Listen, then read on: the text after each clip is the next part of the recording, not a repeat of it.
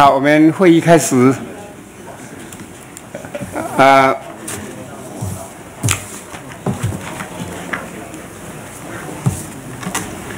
我们今天要协商的哈有四个主题哈。那这四个主题，我想我就不必念了，因为大家都有看到哈。那我们现在就开始进行第一个主题，就是盐盐商中央政府严重特殊传染性肺炎防治及纾困振兴特别条例啊，特别预算哈，特别预算。那这个是期间是在一百零九年一月十五日到一百一十年六月三十日啊，我们研究研究这个特别预算的相关事宜。那现在我们就开始看大家有没有什么意见。啊，请总长。院长，呃，各位委员代表哈，有关于这个特别预算问题哈，那我想大家都很清楚，今天赵委也选出来了哈，那可能时辰点大家稍微想一下，就是说这个是大概六个委员会来联系审查，好，但是要在审查以前，要委员会审查前，一定要院长来备选嘛。所以明天礼拜二，我们因为现在没有程序委员会嘛，哈，那本来是宴会的时间嘛，那宴会时间要处理另外事项的话，大必须大家同意。所以我们是不是第一个，大家先同意明天请苏院长来做备询，做预算备询，备询以后就复委，好，还要复委，那复委审查的时候，那当然宴会会到大概几个委员会审联席审查。当时有委员会联席审查嘛，哈，那就礼拜三、礼拜四，好，就礼拜三就开开始审查了嘛。啊，赵理长的话，因为是属于紧急事项，所以被排除三天前通开会通知，所以礼拜三、礼拜四都是委员会的时间，可以来审查。那是不是礼拜三、礼拜？但是中间有一个问题要先大家先同意一下，这个礼拜三早上刚好前任的财政部部长徐哲。告别式啊，那各部会都会去啊，包括总统、以将都会去，院长都会去，包括我们六安也有很多同仁会参加。那财政委、财财政部部长都要去嘛，所以那一天早上可能的委员会哈，晚一个钟头，十点钟才开始啊。那我们现在那弄拜上拜四，别开心扎嘛，拜别在委员会时间，一百一十三个委员哈，我相信啊，这么大的议题。很多人都会发言的，那个发言一天，包括包括当天还有几个部会要他报告，要晚一个钟头吧，所以一天不可能结束，要充分时间大家发言。那我比较建议说，是不是大家会同意，拜三拜四能刚全部询答，询答，询答注意到巡达结束，让每一个委员都可以来讲，好，那我相信这个很多人会踊跃发言的，好。那接下去九号的礼拜一的时候，啊，今天早上也有跟财政委员会赵委，包括包括那个在那少委委员，也有跟蒋万安稍微，嗯啊，因为周委员都有谈到。那下礼拜一，那下接下来九号的礼拜一的时候处理预算，那处理预算那天一天处理算是来得及处理的完了，那提案嘛啊保。没有没有没有共识就保留送协商了嘛哈，所以九号专心处理预算，但是九号预算要出，不管有没有结论，到最后一定要，呃，要送到那个那个预算要要送这个程序委员会啊，审查报告要送出来，那接下来礼拜二程序委员会就就应该今天又又可以组成了嘛，来排十三号。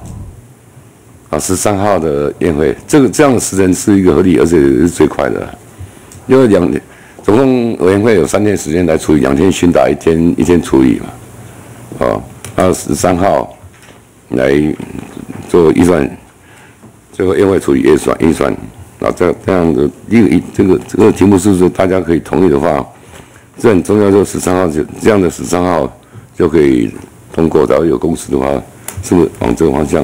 当然，今天早上也有跟国民党稍，包括招委都稍微的沟通一下哈。来，继续有没有？啊，来，请总总长。呃，对于院长明天来呃报告这个特别预算，然后备询哦，这个我们国民党团呃进表同意。那对于审查哈，审查这个特别预算哦，那礼拜三、礼拜四询答，然后下礼拜一哦审查。呃，然后到十三号就是下礼拜五了哈，二三读哈，这个部分哈，我们是提议啊哈，应该这当中如果说到十三号，呃，在处理哈，就是到院会的话，这中间委员会有五天呢，好，五天的委员会，这个礼拜三、礼拜四，下礼拜一、三、四啊，五天的。委员会的时间，所以既然有这样子的时间，我们是不是啊办一场到两场的公听会？啊，所以公听会的目的啊，主要就是针对这个纾困振兴啊。我想防疫的那一部分，应该是大家都会比较呃意见比较有共识啦。但是纾困振兴的部分，牵涉到要被纾困的企业、产业，好，那包括影响的这个劳工，好，将来纾困，呃，纾困的意思就是说，疫情哈没有办法控制得很好，然后将来恐怕会影响到各行各业，啊，那影响到各行各业，也必定会影响到劳工了哈。我们已经看到有一些。所谓的无薪假，甚至直接呃资遣员工的情形出现。好，我们的结论就是希望在这个过程当中，既然有五天的审查会时间，那不是说时间不够了哈，所以是不是来办一场到两场的公听会，主要针对企业受影响的企业，到底这样的？预算哈，这个纾困振兴的预算符不符合啊产业产业的需求了啊？这样子的纾困啊振兴的方案跟编列的预算，是不是最有效率的，能够让产业有感好，甚至让劳工哈在防止这个无薪假，防止这个。之前这种大量解雇的情形，是不是真的有到位了、有帮助了？听听产业界工协会以及劳团、劳工团体的一些意见，然后我们再做最后的，有必要的话再做一些修正。哦，这个是国民党团的意见，谢谢。好，谢谢国民党团。接下来，民众党团里面。好，那主席、各位呃委员同仁啊，刚国民党团提到公听会的部分，我们是不反对啊。但是我想还有一个是在要点里面很清楚提到，它其实很多的是跟补助地方政府去进行有效的这个处理哦。所以如果说以这个公听会形式，也许还有一个是地方政府跟中央政府在这个这个执行上面的一个沟通跟呃这个协调哦。这个我不确定目前。呃，行政院的的规划是怎么进行？所以我是觉得这个这个部分还是要加紧的去做。第二个比较我们在意的就是说，有很多的这个补助对象、补助内容，还有补助的公告提成的这个等等细则，到目前是还没有看到哈。那很多记者在楼下也一直在追问，什么抵用券到底多少钱？多少钱？那这些一直外传的这个资讯。如果我们第一时间都不晓得，我不晓得其他的地方政府一定也会被问哈，所以我还是期待，就是说，虽然在这个呃委员会里面会会有这个询答，会有这个呃资讯的一再揭露，但是还是强，就是说希望，即使在委员会中那个出来的资讯哦，就是不要是各种不同的这个管道传出来的。那既然是哪个部会主责，他会同哪一个部会共同定定之，这个权责的关系，我觉得是我们比较在意的啊。那第二个是说，在这个建制资讯平台部分，也是我们很强调，就是说第一时间就让民众或企业知晓哦。所以是不是说在询答的同时，这个建制跟这个呃一一定的这个呃这个内容的完整盘点进度哈，能够一并的在委员会里面提出报告？这是我们大概的意见是这样。好，谢谢赖总召。接下来请院长、各位同仁哈，那第一个就是说，针对苏院长来备选，这个也是时代力量的主张了哈，我们当然一定是会同意。那第二个部分就是这个，刚刚柯总召有讲说这个询答跟这个审案的这个流程了哈，那我们也应该就是说，我们也同意这样的流程。不过就是说，因为这一这一本哈，事实上是非常的简要。好，就是说，其实它内容你看了之后，还是不知道说到底这个这么多的钱哈，六百亿，那到底他要去怎么样进行一个这样的一个，不管是纾困也好哈，不管是说所谓的振兴也好，但是这个我我认为这是太简要了哈。那就是说，我们当然就是说要求要这个在巡打的时候也要强力的来审查，不过就这个部分应该是。要能够机关也要能够提供一个更完整的一个报告，好，那那因为他这样的简要的时候，其实立德要一个开启变纲嘛，哈，就是说我们要约他来，然后针对每一个项目，交通部、经济部啊，主要是这两个大的部会，然后去去详细的去问他说，到底他的这个组成这样的一个预算案的结构是什么？哈，我相信这个按这是经波效率啊，哈。啊，再就是说这个公听会的部分，我们也是不反对啦，哈，就是说丽娜能够有更多的意见进来，包括在这一本里面，事实上完全没有劳动部的这个预算嘛，好，那就 就这部分到底是说以及干嘛公布书要，哈，还是说他觉得说可以，他会编在其他的这个预算里面，而不需要用到这样的特别预算，这个部分可能就是说，如果有一个。公听会，我们当然也是不反对啊。以上，好，大家都已经啊，各党团都已经发表高见了哈。那今天大概我们今天就处理程序吧哈，程序。那最主要，我看大家都同意，就是这个明啊，明天星期二啊做预算报告，然后接下来就预算执行啊。这个应该这一点，的好像没有异议嘛，没有没有不同意见哈。那第二点大概就是。有关于要执行到底啊，各党团哈，各党团啊，应该是怎么分配啊？分配啊，各党团分配以后，名单大概也要啊，要想办法要这个让给艺术组这样，这个是第二点。大概这个这个程序我们要先处理。那这个处理，那接下来大家嗯，对于未来啊，到底要办公听会，还是要几天或者怎么样？我想。啊，我们先把前面两项把它决定，那接着再来把那个程序再把它讨论，这样好不好？好，好，那这样没大家没有意见，我们就这样，就说啊，有关于这个明天我们就把它确定，就明天我们就邀请苏院长来做预算报告，三长财主哈，行政院长跟财主来做预算的报告，那这个报告。他们诶报告完了就开始做预算的执行，这个大家没有意见，我们这个就是就确定哈。那第二点就是对于多少啊这个执执行哈执行要多少人，就是在预算报告之后马上就面临执行，那这个执行要多少人？来，要对有什么意见？照时间，隆重瓦解时间是不是？都是关系到一天的时候，好，一个人十五分钟。要要有有国事论坛嘛，以后要有三个啊三个首长报告，那剩下的时间大概只剩下四个小时。四个小时，四点钟了。四点钟可以正常比例。六个六四十六人。这过去过去都有都有诚意嘛？多多少？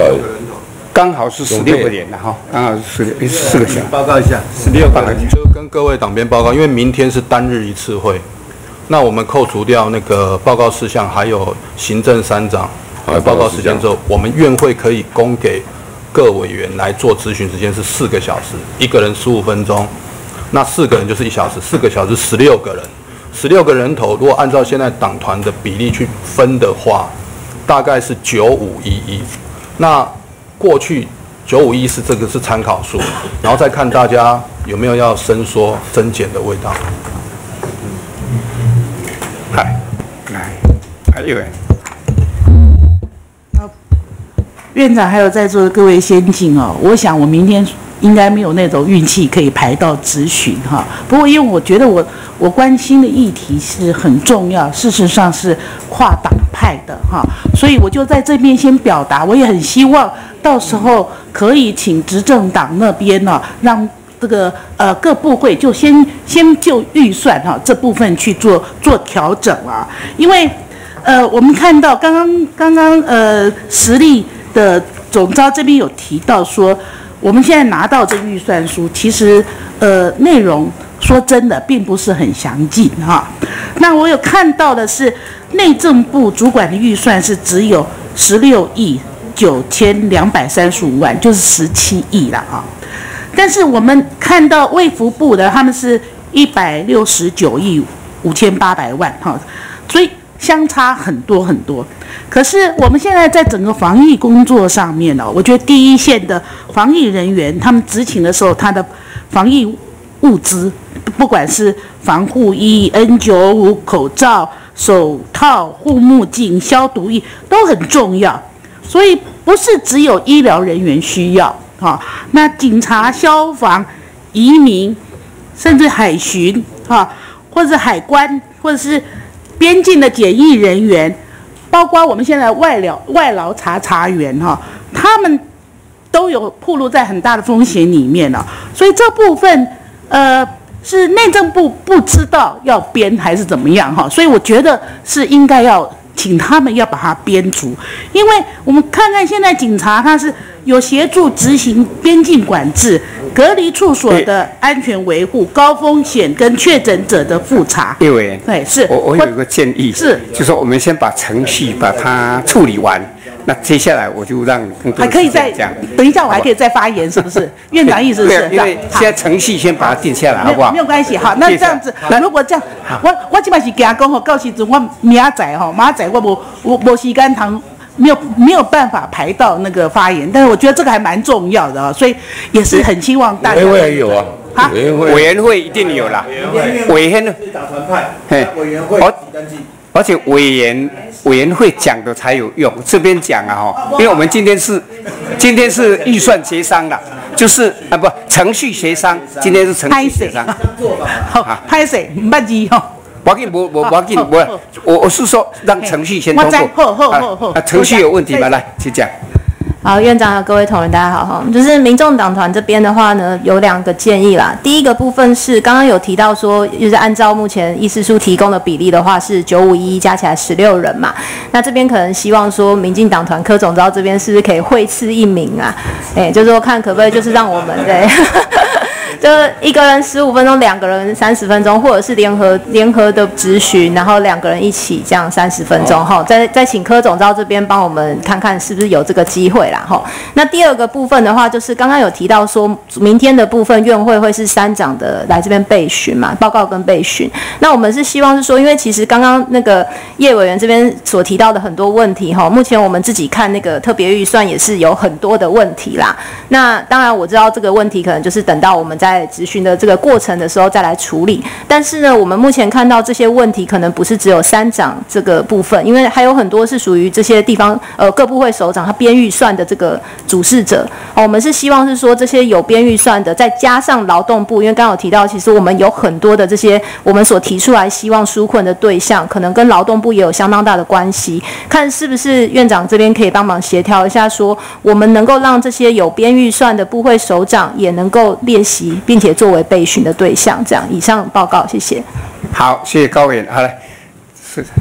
啊，院长，还有各位大家午安。呃，我的意见也是类似了哈，就是呃，在明天质询的部分，哦，因为小党就是呃，就是来呃做一些呃监督意见的表达。那执政党这边。我想已经这个名额很多，而且跟行政院你们的沟通也比较多了，所以希望能够让我们有多一点时间来表达。好，这是第一个。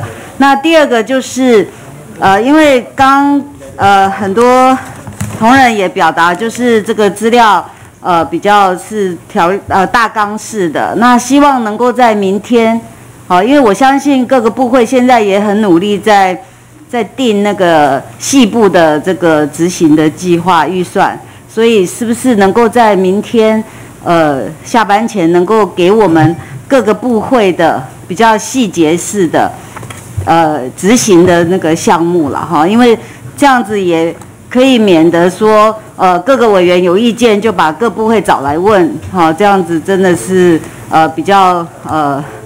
就是浪费大家的时间了哈，因为委员很多人可能都有相同的意见。好，以上谢谢。谢谢，来，你先来。哦，谢谢。国民党团在这边哦，我想针对明天院长来报告哦，那我想大家都有共识，呃，但是站在在党在党的立场啊，我们还是希望说，既然有这样的机会。可以针对院长就纾困特别预算来立法院报告，应该要多一些机会，可以借由这个这样的场合，哦，来询问院长，还有包括参呃审计长啊，咱们部长，当然刚刚也有提建议，希望相关部会啊也能够列席。那这是一个很重要的一个呃质询哦，就整个纾困预算编列的大的方向。我们应该要来好好的问，哦，行政院长，就目前受疫情影响的各产业以及民众，怎么样将钱用在刀口上？我想这个是我们最在乎的。事实上，在上一届，哦，第九届，林权院长也有特别对，呃，八一五大跳电来立法院做过专案报告。哦，那一次事实上也没有说。限期是在呃一定院会呃休会的时间就结束，事实上还一直到晚上哦。当然这一次纾困条例跟特别预算，我们希望能够尽速，如果有共识的话，但是也希望说在一档哦在执询的人数上面，我们希望能够多一些，因为届时复委以后也是六个委员会联席审，我们希望。每一个委员会至少都能够有一个代表，哦，就包括不管交通、卫环、财政或者教育，哦，受影响的都能够在院长来报告的时候能够有机会质询，哦，这个是我们希望能够站在在野党立场严格把关的角度，哦，来发声。那另外谈到这一次目前送到立法院来只有六十页的预算报告，坦白讲，真的是太过简要。哦，我我们希望说，当然届时到委员会以后，我们可以针对各部会他们编列预算的细节，哦，再提发再提质问。但是希望说，至少明天如果要咨询院长要来报告。至少今天是不是可以就一些细部的编列的规划，哦，能够先提供给立法院，哦，否则明天的质询只会流于形式，哦，那以上两点哦提出来，希望院长哦能够做一个决定。好，接下来我们就请，好像我一直被点名哈，来。我们开始从程序性问题先谈嘛，哈。第一个，明天要执行这个，OK，多少人哦？多少人的问题嘛，哈。那等一下再，委员会的事情是委员会的事情，公听会是委员会的事情了，哈。那我有一样一样来处理，哈。针对刚才等有讲谈到，就是说，哦，那高伟那讲的很客气，好，我我都会是一名啊。那张伟也谈了，那个那个蒋蒋伟也稍微提到。这个哈，总就像院长做报告这样比喻执行啊，他不是问细节的问题的，好，当然是一个大面向的攻防嘛，啊，那都是，中这种总预算什么时候，我们这里有六百亿而已啊，然后这里两兆预算是算一如如此，其他都是找委员会处理，今天看不到什么，你问要很细的资料什么，那个都是要要委员会处理的，好，那像公接的。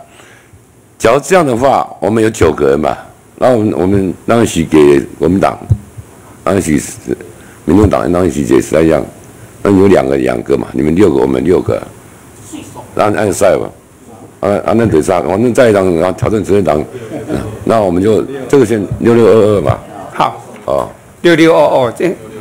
那我们自己内部。应该都，哎，好，六六二六六二二嘛，六六二二，啊，这先解决好不好？好，那这这样你要像这不是什么大政治的、啊，这个是大家一起来解决的问题嘛，这个第一个。然后第二个我要谈的就是说，刚才一直说啊，这预算数像不那干哦，没有很详尽，可能各位还当工地我还还搞不大清，总预算就是如此，这两兆一户如此嘛，不可能。那你要的礼拜三、礼拜四以后审查的时候，相关资料都会来的嘛。好，这个院长来的不是这个东西嘛，好不好？啊，院长来各位放心，他不是只有行政院长来。主席长一定要来嘛，好，那主席长来的话，财务长要来，相关各部会首长坐在那里让你问啊，你放心的，啊，不可能傻来解题啊，告诉一毛不要答，啊，这院长有时候在在交通部的事情，他会请交通部长谈嘛，所以各位请放心，所有部会首长都会来，啊，这个这个都都毋庸置疑。那这个问题，这样我们先把这个问题先解决啊，啊，这个解决以后，这个和宴会有关的嘛，啊，然后十三号。大概那时间安排十三号那宴会来通过，这个应该也没有问题吧？啊，要下礼拜下下礼拜五通过嘛。那至于刚才林慧周总讲说，我刚才已经讲说，这里面有一个程序委员会是十号的，是九九号我们三天的审三天的那委员会嘛，好。那要要不要公听会？那是委员会的事情，院长也也没有怎么办法智慧的，那是委员会处理。但立完之前刑事法五十七条。公听会要五天前发通知嘛，根本来不及。而今天早上招委会议的时候已经决定了，哦，拜三、拜几四号、五号是询答，然后呢，九号礼拜一是一注一算，招委会都决定都签名了嘛。我们在这里说在公听会，我不知道哪哪个时间呢？那你要留时间，下礼拜三、礼拜四，下下礼拜三、礼拜四还有，呃，院长主请院长的组织超来协商，然后下礼拜下下十三号才能过。所以公听会的事情，我是希望希望大家都不要坚持，因为没有时间，要五天前发通，那整个程序都重来了。人家早上招委会已经签名了嘛，已经大家都不知道怎么谁哪天谁都用抽签的处理好了。所以我们在这里不要去做那个刚好性行为了。啊，公听会不是立法院审查法案预算的必然程序嘛？好，我是觉得，当然公听会你要找谁来这么一大堆人，也救不着了，而且来都是徒生。啊，这个不同的意见你很难去处理。立委是做自己最清楚了，各政党的立场最清楚，政党主张最重要，还要听听什么听能听不完，哦，程序也没有办法处理，说办到打给也好，我们把程序先处理啊，应该做的，这样才能如期完成啊。那至于委员会，因为因为哈有两天巡答，我相信每一个委员都应了，都问得到，问不到就开开会晚上十二点也没有关系，哦，然后还有一天要处理预算。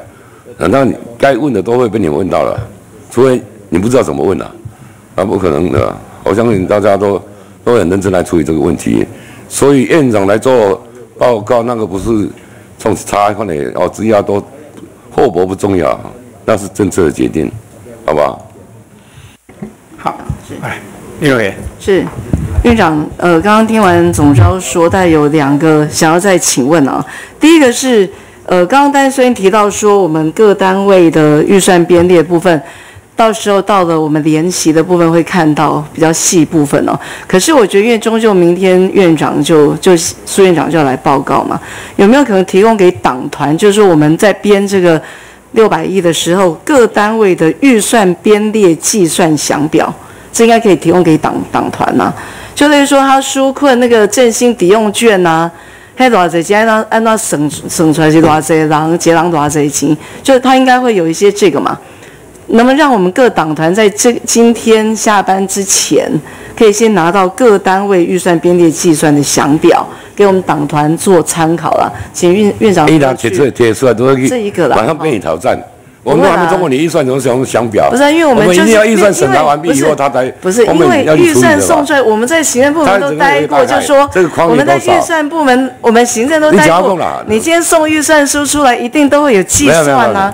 那时候我的那个计算多少人，然后我的那个我的那个量是多少？就这个是用多少估？那个绝对会有了，要不然我们我不知道行政部门怎么可能送出预算？万一你告给我，其实我我就白讲讲你讲，我我我哇塞，人爱接人我假如说你用台北市政府来看立法院，这样都对你不好意思啊。我希望你立法院请你很清楚了解。也行，中央不可能现在有那个想表更更严谨。提问我需要要不到。这是第一个，就是我想希望啊，我们要还是要提出在野但要提出我们的要求嘛，因为我们才能做做一个把关跟监督。另外一个是说有没有一个请求，是说我们当然这个礼拜三、礼拜四是联席的答询啊，哦，下礼拜啊，因为下礼拜其实议程也还没排定，有没有可能下礼拜留一天呐，给各委员会做公听嘛？可不可以？就像他在关心警消，现在我要关心公听会的事情是共情的，因为我像现在像教文的部分，举例来说，我们看不到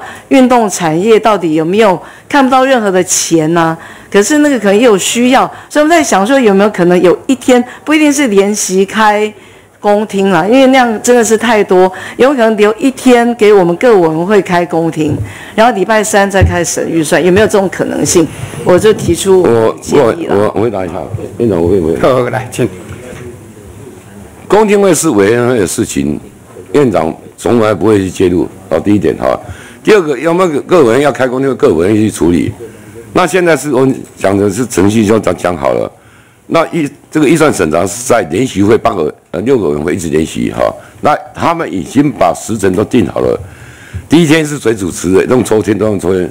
第一天询答的时候，礼拜三是庄建雄抽到；第二天礼拜四那是我抽到；然后第三次的时候，九号礼拜一的时候是庄庄建雄抽到，而且都签名，这个时辰都安排。这个预算委员会一定他们一定要全部安排下去的。至于各委员会还有各委员会在开嘛？各位要怎么开？要找要公听会，我想各委会找赵委处理。但是呢，公听会要五天前直接行使武器要规定很清楚。所以我们这样的这个这个十三号既然要处理这个哈，这个时辰大家有共识的话，其他委员会要怎么处理？我想各委员会自己处理了。总上对，我知道，但是又会有一个问题，就是说，如果礼拜一开联席审预算，我们不可能不在那边审预算，跑去公听会啊。所以还是说，你只有发言的时候会在，不可能整天坐在那里吧？嗯，行。可是审预算我们也很关心。审预算一一定是。我在想说，不可能一天给我们委员会公听嘛？欢迎拜个哦，礼拜下礼拜五才要处理啊。你也不可能在这边凌驾到两位招委的权利，说啊，你们礼拜一要让，你说话要让出来。早上财政委员会他们已经刚总招有讲了，已经把那个三号、四号，然后九号。他们的下礼拜是八个委员会一起开，都是一起开，不是只有谁当招委都都抽好了。不是又还没排，可是他们都讲好了，两个招委都排好，都签名了。对，所以下礼拜是所有委员会都开，不是没有，不是下礼拜是礼拜三，礼拜所有委员会都开。现在用这边去压制他们开呀。你下礼拜要求什么工地？下礼拜的排程应该还没排。好，我这样啦，我们先把这个程啊，礼拜一程序哈，这个程序处理好，然后。有关于公听的不公听，因为它受到涉及委员会的职权啦。那我们再等一下再大大家交换意见，看怎么处理。我先把这我试你一个结论哈，然后念给大家听，看大家有没有什么意见。最主要是针对程序，一定要先做决定，才有办法来讨论实质的问题嘛哈。那这边是你的结论啊，有三点哈，我就先读一下。一各党团同意行政院函请审议之中央政府严重特殊传染性肺炎防治及纾困这些特别预算案，增列纳入第二次会议报告事项，就是明天的报告事项。哈，这个是第二，三月三号星期二，邀请行政院院长、主计长、财政部部长及相关部会所长列席报告。中央政府严重特殊传染性肺炎防治及纾困振兴特别预算案编制经过并被执行，执行人士由民进党团推派六人，国民党党团推派六人，民众党党团及时代力量党党团各推派二人进行。未参加党团委员得优先发言。执行顺序。依例授权议事处办理，上次执行委员名单，请于三月三日星期二上午九点前送到议事处会诊。议案询答完毕后，即交审查。各党团同意不提出复议，当日不进行施政执行及不处理临时提案。第三，上开特别预算案，于委员会审查完竣后，各党团同意于三月十三号星期五宴会进行处理，完成三读程序。各党团同意不提出复议，当日不进行施政执行。就这这个结论，看大家有没有什么意见？程序的，都是讲程序的啦，这这都讲程序。OK，好，没有意见，我们就就照刚才念的这个啊做决定哈，就通过啊。来签名，院长。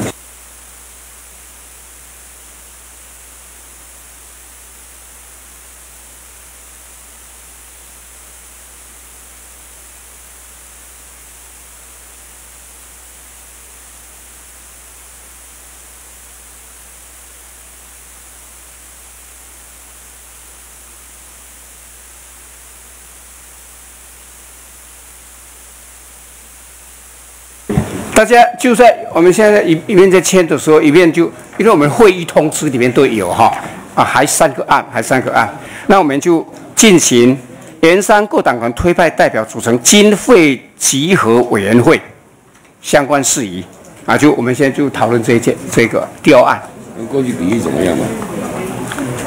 照比喻啊，要不要请议事组来因为说明一下好不好？调案？院长，那所以我刚刚讲到一半的是，呃，就是今天就就是要没关系员会去，程序完了以后我陪你，你。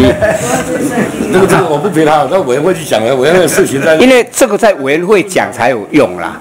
这边今天的政府观点都不在这里呀、你讲就我会我会来听，没有关系啊。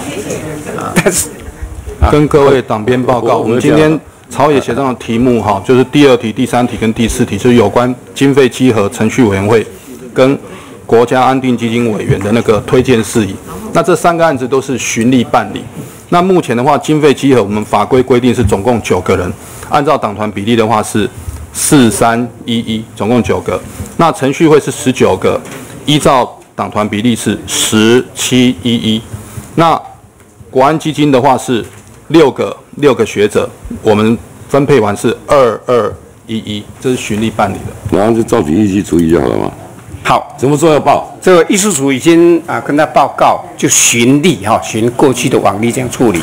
那他有包括那个人数啊，都有报告，看大家有什么意见。没有意见，就是什么时候以前要送出来，比较重要吧？程序会的部分哈、可能要早一点，就是请大家在三月五号送出来。那其他像经费稽核跟国安基金的话是十二号，就下下下礼拜的事情。五号、十二号是吧？对，好，好，那这样我我把那个结论我把它念出来，让大家有意见再来讨论，这样可能会比较啊比较快一点哈。好，啊一，就说针对第一案了哈。啊，本第一会期经费集合委员会依政党比例，由民进党党团推派四人，国民党党团推派三人，民众党党团及时代力量党党团各推派一人代表组成。名单请于三月十二日星期四中午十二时前送至艺术处会诊。上述名单送交艺术处后，即不予更换。第二案，本第一会期程序委员会依政党比例，由民进党党团推派十人，国民党党团推派七人，民众党党团及时代力量党党团各推派一人代表组成。名单请于三月十二日星期四中午十二时前送至艺术处会诊。上述名单送交艺术处后，即不予更换。三、有关行政院函请推荐六位学者专家担任国家金融安定基金管理委员会委员一案，依政党比例，由民进党党团推荐二人，国民党党团推荐二人，民众党党团及时代力量党党团各推荐一人代表组成。名单请于三月十二日星期四中午十二时送十二时前送至艺术处会诊，玉石视同放弃。啊，看大看大家有什么意思？二的部分是三月五号，三月五号，三月五号。好好，我修正一下哈，刚才第二第二项就是啊、改为程序委员会改为三月五号，因为我们后面做受到那个十三号，十三号要那啊，所以这个要本来是三月十二号，那现在要配合调整，就提提要提前到三月五号。哎，就程序委员会的部分是三月五号，那其他两个，因为集委委员会跟啊、这个安定基金，这个是在三月十二号，这样，哎，看大家有没有什么意见？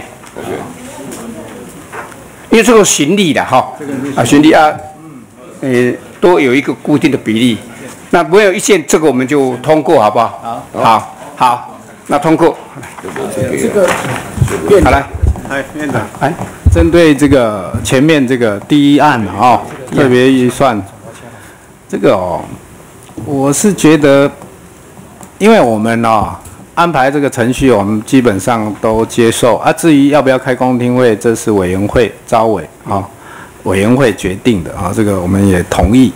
那现在就是说，我们压日期把那个三月十三号星期五就要进行处理，完成三读。好啊，这样把那个 deadline 啊压在那边。当然，我们期望啊，期望是这样子，但是这个有一点哦，有一点侵犯委员会职权的这种感觉啦。我们一直强调委员会中心主义，哦，委员会如果要多审查一天都不行。那所以我们现在用朝野协商啊，直接把委员会的可能他要审查的时辰都把它定好，听起来怪怪的，好像阉割委员会的职权的感觉啦。所以这边是不是我们当然也期待、期望啊，顺利的话，三月十三号把它完成。但是你把它框在那里，然后委员会就说啊，你们就是按照朝野协商决定，你们就只能审查多久，时间多久给你，那这样对委员会的职权不是造成？没错，不啦，啊，你有惯例啦，我知道你起码一一定被讲，惯例上我们以前这样做。我不，我我我起码是你讲吼，咱咱咱这委员会审查吼，我们一直在强调委员会中心主义。委员会审查，他有时候审查一天、两天、三天都有可能。我们以前也审查过复杂的案子，也多审查一天，甚至挑灯夜战，对不对？大家都有这种经验嘛。对不对？有时候一天审查不完，我们要审查到十二十二点，好、啊，这个但是这个都委员会在决定，好、委不然你选招委，今天才大家才选完招委，他招委有权决定说我要今天要不要延会，啊、那经过委员会同意就可以延长他的审查时间，不是吗？啊，如果今天我们都把它框在那边，那这对委员会来讲是。